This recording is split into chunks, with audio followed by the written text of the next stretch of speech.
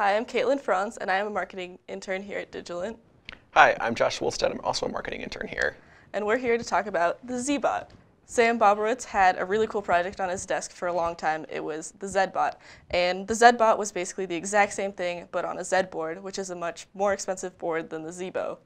So we saw his project, he brought it to us, and we thought it was really cool, and he tasked us with putting it on the ZYBO so that it was more accessible to a wider audience. My job here at Digilent is to work with FPGAs for the most part, and Josh is more computer science. So we combined our skills and worked on the Zybot. We created this for ACETA, which is coming up this month.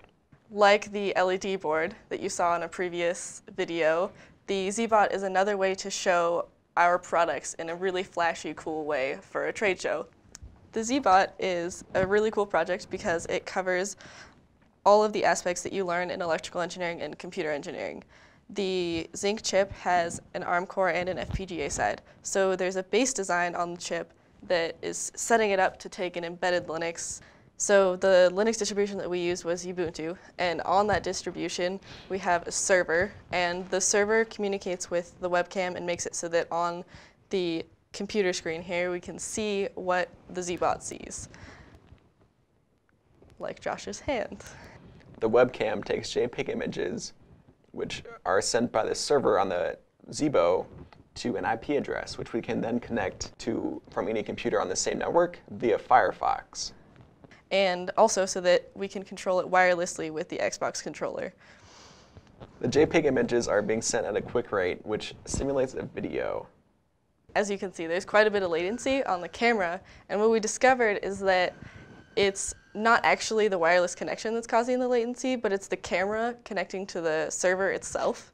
So we're going to try to get that latency down because, as you could imagine, we were trying to drive it around the office one day, and it's a little bit difficult to control if you're just looking at the camera feed, using the controller, and trying to see what you're doing. The ZYBO board itself requires 5 volts and no more than that, and the motors each require 12 volts. So the motors are connected with two PMOD HB5s that we have attached here. So the H bridges control the direction. As well as that, there's the servos that require 5 volts. So it was difficult to figure out how to provide all of those different sources with different voltage levels and enough amperage. What we ended up deciding to do is using a voltage regulator so that we could get the 12 volt side and we could get the 5 volt side. Fortunately, when we were doing this, we learned a lot about powering boards and what to do and what not to do. and we figured out why the particular voltage regulator we used was discontinued. So there was a lot of learning in this project. And the voltage regulator also helps with the current.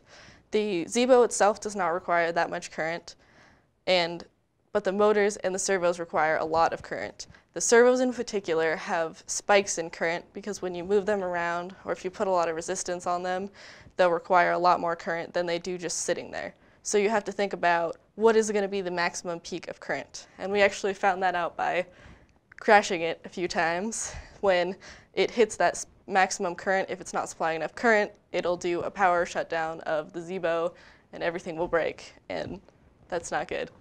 If you'd like to learn more about the Zybot and maybe even make your own, if you go to instructables.com and search Zybot, you'll find a collection of instructables that talk about all of the different components required to make the Zybot. There's one about the hardware, there's one about the software, there's one about the server.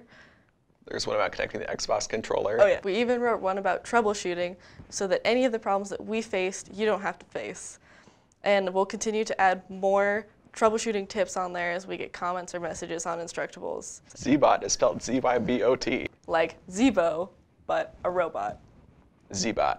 Thank you for your time. Oops.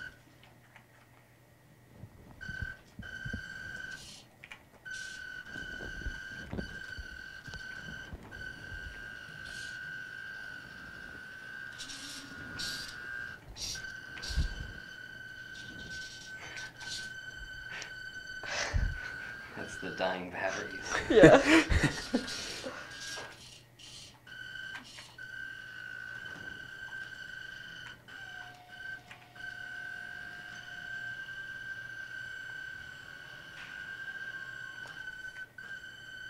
Ah, uh, that's terrible.